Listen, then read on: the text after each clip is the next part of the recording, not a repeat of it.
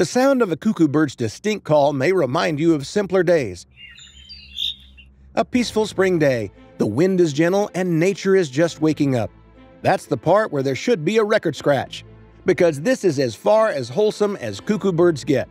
Beyond that, they're these nightmarish masters of deception and appalling children siblings. They can't be that bad, you may be thinking. Suspend your disbelief. It starts with the mom cuckoo birds. Her parental duties extend to carrying the egg. And that's about it. Forget about building a nest, vigilantly protecting the egg, slaving over finding prey to feed her offspring. No, all this single mama wants to do is get back out there to the world and mingle all over again. Where does that leave this poor, abandoned baby? Don't feel bad just yet. Cuckoos belong to a very specific type of animal. They're brood parasites. It's as ominous as it sounds. That means they're more or less as bad as they come. They're born evil, literally. Out of the egg, blinding, featherless, and stumbling, they'll A. Stab the other eggs in the nest, or B throw them out and to definite death. What? What? What? Before I tell you exactly what's happening, please press the like button and help my videos get more attention. The mom cuckoo bird never has any intention to raise her young. She'll search for a foster mom, usually targeting reed warblers, meadow pipits, or dunnocks. To pull off this ruthless scheme, she'll watch from a distance first, waiting for the host parent to leave the nest. In some fascinating and morbid cases, She'll mimic a noise similar to Eurasian sparrowhawks to signal danger to make the parent leave the nest. From there, it's duck and roll and land in the nest, where she'll quickly lay her egg among the others already there. Like offspring like mother, apparently, she may even kill one of the eggs to make room. And so the warbler parent, for example, doesn't think there are too many eggs in the nest. What comes next goes beyond sibling rivalry.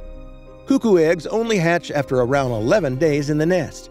The other eggs, obviously with no means of defending themselves and with a gullible parent, are attacked almost immediately.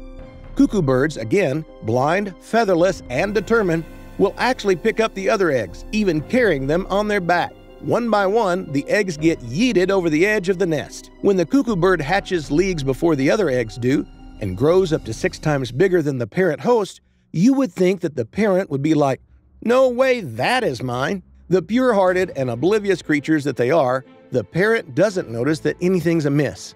It will lovingly spit food into its mouth as if it was its own child. The parent will even dedicate all its energy into feeding this overzealous, super violent child that remarkably looks nothing like them. Come moving day, around 20 days later, the cuckoo will leave the nest and come right back for the host to feed it. Believe it or not, cuckoo birds have this down to a science. Evolution favors the strong, and in this twisted example of Darwin's survival of the fittest, cuckoos have evolved to increase the odds of this parent trap working. Sure, the baby that grows up will tower over the parent after violently murdering its siblings and throwing their eggs out, and the parent will be none the wiser. But before that, there's a good chance that the parent will notice a different looking egg in the nest. One of the cuckoo bird's adaptations is egg coloration which is surprisingly similar in color to the host's eggs. The poor parent host didn't sign up to be a parent for this long. Meanwhile, the baby bird will never actually meet its real mother. Its children, though, will carry on the family legacy, throwing their siblings out of the nest. Check out this video. It's specially selected for you. You'll like it.